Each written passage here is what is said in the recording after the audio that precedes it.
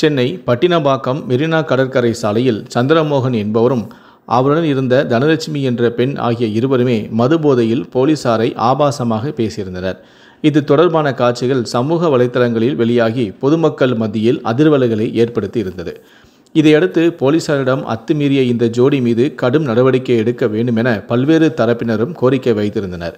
இதற்கிடையே பணி செய்ய விடாமல் தடுத்து ஆபாசமாக பேசியதாக காவலரான சிலம்பரசன் என்பவர் மயிலாப்பூர் காவல் நிலையத்தில் இவர்கள் இருவர் மீதும் புகாரளித்திருந்தார் அதனைத் தொடர்ந்து இவர்கள் இருவர் மீதும் கொலை மிரட்டல் விடுத்தல் உள்ளிட்ட ஐந்து பிரிவுகளின் கீழ் போலீசார் வழக்கு பதிவும் செய்தனர். அதோடு இருவரையும் கைது செய்த போலீசார் தரப்பில் மூன்று தனிப்படைகளும் அமைக்கப்பட்டு தனியார் தங்கும் விடுதியில் வைத்து போலீசார் இவர்களை கைது செய்தனர். கைது செய்யப்பட்ட சந்திரமோகன் தனலட்சுமி இருவருக்கும் தனித்தனி குடும்பங்கள் உள்ள நிலையில் இருவருமே தகாத உறவில் இருந்து வந்தது போலீசாரின் விசாரணையில் தெரியவந்தது.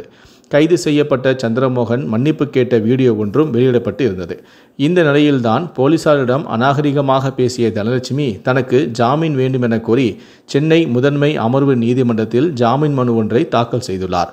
அதில் நான் கௌரவமான குடும்பத்தை சேர்ந்தவர் தவறுக்கு மன்னிப்பு கோரியுள்ளேன் எனவே தனக்கு ஜாமீன் வேண்டும் என அந்த மனுவில் அவர் தெரிவித்துள்ளார். இந்த ஜாமீன் மனுவை விசாரித்த சென்னை முதன்மை அமர்வு நீதிமன்றம் காவல்துறைக்கு இது குறித்து பதிலளிக்க உத்தரவிட்டும் உள்ளது.